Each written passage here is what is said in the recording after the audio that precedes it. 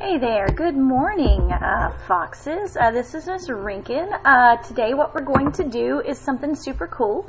Uh, we're going to work on a Celtic uh, tree of life.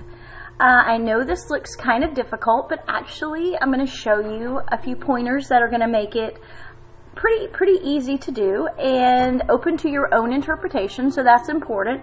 I remember when you're doing these art starters that this is just my interpretation of a way to create art, and I hope that yours comes out somewhat different uh, because we all have our own ideas. And so, um, you know, branch out on this, so to speak. All right, so the Celtic Tree of Life is something that's been around for a long time. The Celtic Tree of Life is a symbol. It has many different interpretations. Um, Tree of Life is a representation of harmony and balance in nature.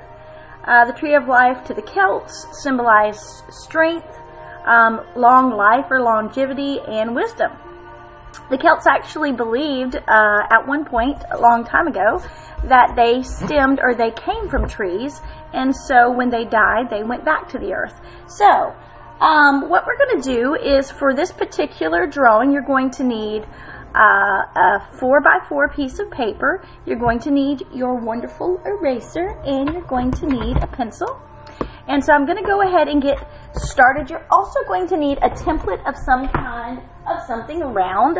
I am using a dinner cup and I am going to make sure that it is even all the way around.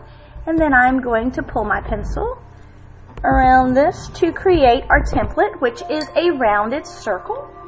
And one of the things that you need to see about the Celtic Tree of Life is that it is very balanced, and that's the whole purpose of the image is for the balance. I'm going to zoom out just a little bit so you guys can see this. And so when we see a tree, there's just as much underneath the tree with the root structure as the top branches.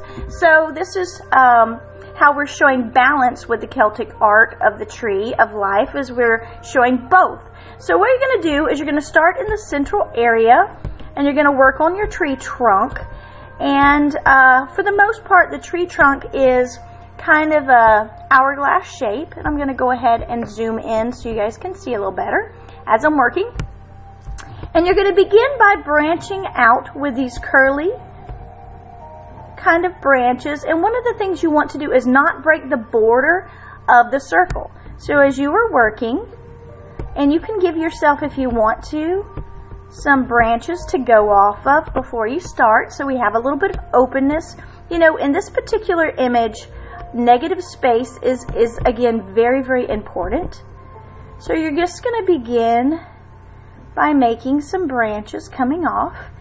And they're always really swirly, really curly, almost like octopus arms or worms, okay? and then they might butt right up to the border of your circle but not go over. Alright, so we've got that going on and we'll go back in and we'll put some branches. Same thing with the bottom. Um, at the bottom, if you want to, you can go ahead and make a heart and uh, you don't have to, but this is kind of a design element. And I'm going to begin by making the first root of my tree interlap with these with this heart. And then from here I'm going to just again branch off. And we are paying close attention not to go over that border. And we are just creating as we go this curvy root structure underneath. And this is normally what we would not see because it is under the earth but it is still very much a part of the strength of the tree.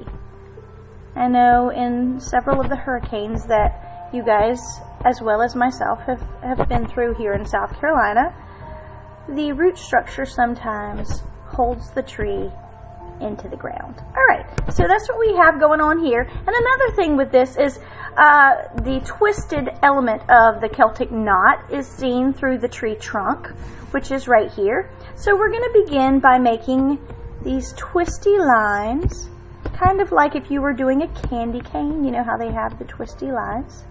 And you're going to make sure and leave those so that they show up in your finished image. And then last but not least, you can go back in with smaller areas and put a few leaves onto your tree, you know, to symbolize that it is a tree that is blooming. It is a living tree.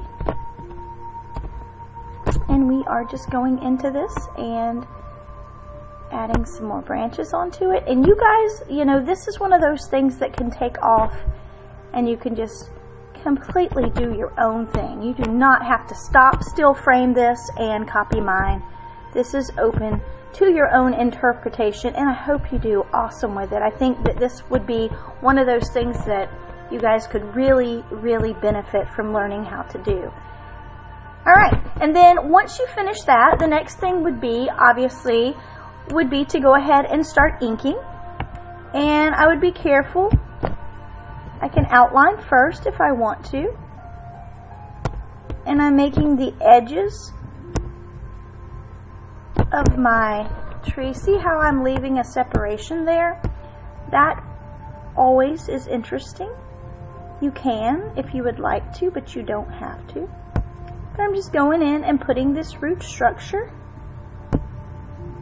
and outlining. I'm going to leave a little spot right there. And just working into this. And this is basically how you would create the rest of your drawing. You would go in and outline first. And when you're finished with your outlining, I'm going to show you one section. I'm going to outline this center area right here, and then I'll fill it in. I don't want to take up all day, but I do want to show you what I'm talking about. So see how I outlined that? The next thing I would do is go in with my marker or my pencil, whatever you have available, and begin to color in these areas. And this is just simply a black and white image. A lot of people use this as a, a tattoo of sorts.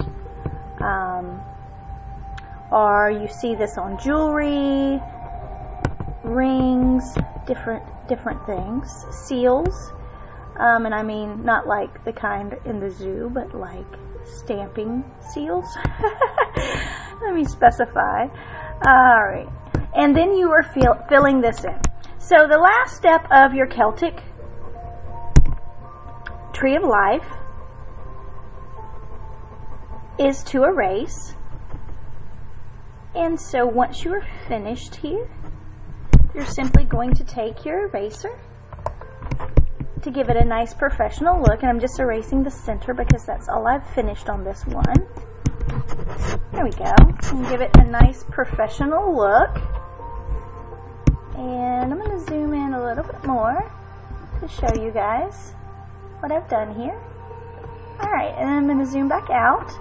And I'm going to again show you the finished one next to the one that I'm working on. So here, let me, there we go.